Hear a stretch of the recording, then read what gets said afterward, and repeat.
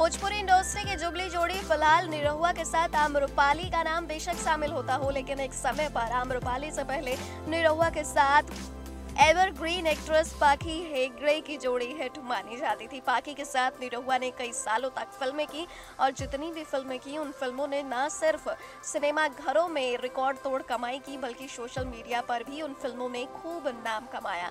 पाखी के साथ निरहुआ को दर्शक हमेशा देखना चाहते थे, लेकिन किसी कारणवश पाखी हेगड़े कुछ समय के लिए इंडस्ट्री को कह चुकी थी अलविदा।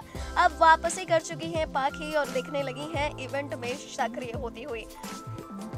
हाल ही में निरहुआ की बर्थडे पार्टी में भी पाखी को देखा गया था, लेकिन फ़िलहाल सीसीएल क्रिकेट टूर्नामेंट में भी पाखी हेगड़े आम्रपाली दुबे के साथ। खूब सारा टाइम स्पेंड करती नज़र आई दोनों खूब सारे मस्ती मज़ाक करते नज़र आए। यही कारण है कि आम्रपाली को भी पाखी की कंपनी बहुत पसंद आई है। और आम्रपाली ने पाखी के साथ एक तस्वीर को शेयर करते हुए लिखा है, एक प्यार भरा कैप्शन आम्रपाली लिखती है, Pakhi Hegde did we not spend the most amazing two hours of our lives today wanted the flight in works to go on the on. Love you way too much. Pakhiji looking forward to CCL to spend some more time with you and all our other colleagues. Next to 9 News Bhojpuria, same Amta ki report.